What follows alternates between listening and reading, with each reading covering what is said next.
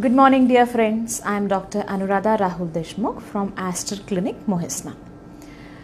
Today, the topic given to me is polycystic ovaries. Polycystic ovaries is very important topic to discuss because almost 15 to 20 percent of patient is suffering with this and they are not unaware. They are not aware uh, of this fact that they are having polycystic ovaries.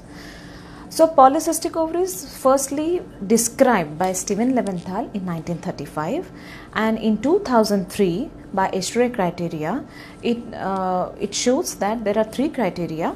For example, anovulation, hyperandrogenism, and polycystic ovaries. If out of these three, two criteria will meet, then definitely it's a polycystic ovary. Now, what is the pathophysiology? As I told you, the polycystic ovaries is multifactorial and polygenic condition. So, what happens in patho uh, in polycystic ovaries is there is increased pulsation of GnRH hormone, which will make which will stimulate ovaries to form a LH hormone. So the LH hormone levels increases comparatively to follicular stimulating hormone FSH hormone. There is a disparity between LH and FSH as the usually we found 3 is to 1 ratio in polycystic ovaries. Because of this there is an ovulation and more follicles are formed inside the ovaries which will make that ovary in polycystic ovaries. Poly means multiple, cystic means small small follicles. Okay. Because of this increased level of LH, there is the whole environment inside the ovary is deranged which is more androgenic because of that there will be increased obesity and increased fat deposition specifically truncal fat deposition okay so those patients who are having this problem more androgenic environment they will have more obesity as obesity will increase the insulin levels are also increased. So there is a hyperinsulinemia and insulin resistance. Okay. So these are the things we have to uh, know because of the derangement in FSH LH level. There is increased androgen levels inside the body. Androgens means male hormones in the body and there is hyperinsulinemia uh, associated with the polycystic ovaries. Now this uh, other hormones like prolactin 15 to 20 percent are associated with this polycystic ovaries. That means there is a hyperprolactinemia and hypothyroidism. 5 to 10 percent is associated with polycystic ovaries. So what are the main complaints? How the clinical features? How the patients are coming to us the patients are coming to us specifically with the menstrual irregularities. Mainly they are not having a proper menses may two or three months or sometime they are not having menses till six months with oligomenorrhea and less flow during menses. Weight gain hirsutism abnormal hairs here on uh, chin or on lips on breast. And acne formation. Pimples will be there more. The patient will give me history of suddenly she started gaining weight her menses are going haphazardly and she is developing pimples. So if such history will given we usually there is uh, we prepare this diagnosis in our mind that maybe she is suffering with the polycystic ovaries. The other group is that same problems will be there and if those who are married they are not able to conceive. So infertility is another sign uh, complaint which will be given to us by patient. Now how we go how we diagnose? If patient is giving this history that there is irregularity acne formation hirsutism weight gain then usually the clinical we fit this patient in the clinical criteria.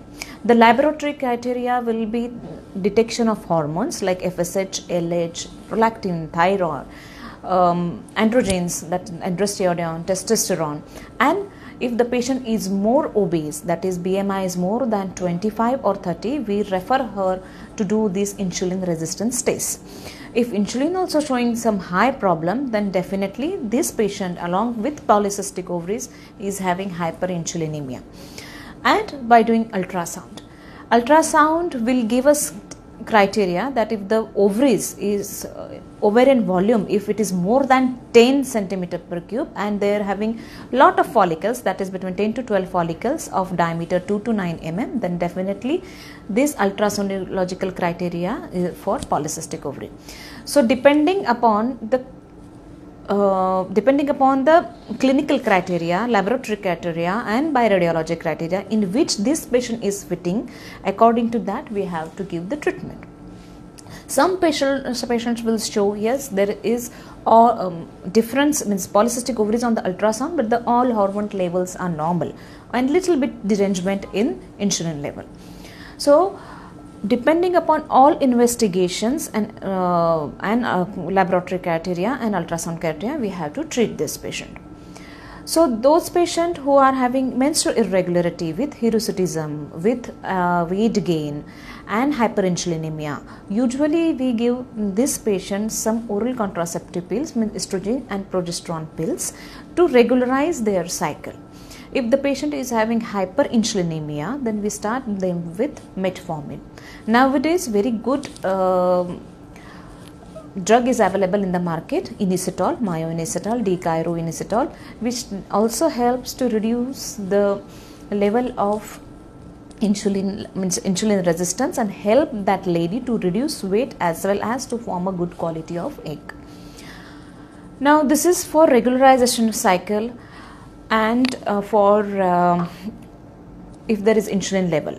But whichever patient is coming to us for the first time we give them trial of weight reduction and diet. That patient should reduce at least 10 to 15 kg of weight if the patient's BMI is more than 30 and 10 kg if the BMI is more than 25 if they reduce weight insulin levels go goes down and automatically she will start ovulating and her menses will become normal. So those patients who are obese with a BMI more they should take good guidance from dietitian and they should do aerobic exercise any kind of exercise like gymming swimming uh, more aerobic cardio exercise that will make them uh, that will help them to reduce their fat so first line of treatment is weight reduction, diet, second with medication. And those who are coming to us with the same thing with infertility, we also give them some letrozole or clomiphene citrate to help them to form a good quality of egg to increase their infertility, the fertility. So uh, this is the line, mode of action. If the patient coming with irregular cycle, we have to give the, them different treatment. If coming with infertility, we have to give them tr- different treatment. If coming with insulin resistance, we have to start with metformin or myoinositol. If after giving this treatment after 6 months patient gives very good if uh, good effects very good reports. If the patient is not giving uh, history that she's uh, after giving uh, this treatment she is not having any benefit or she is not changing her menstruation pattern then it is very difficult then we have to refer her for surgery for ovarian drilling. But nowadays ovarian drilling we don't do to the patient because they this surgery has their another side effects. Now those patients with hirsutism we usually take opinion with our uh, dermatologist friends and we can start them with cyproterone acetate and flutamide to reduce their abnormal hairs. With giving uh, estrogen progesterone pills and this definitely help them to reduce all androgen testosterone levels which will make the definitely the abnormal growth of hair. Now, uh, recent studies also show that vitamin D also helps in formation of polycystic ovaries. If there is a deficiency, it will give rise to anovulation and infertility. So, the patient with the polycystic ovaries and with the vitamin D deficiency, we have to treat everything.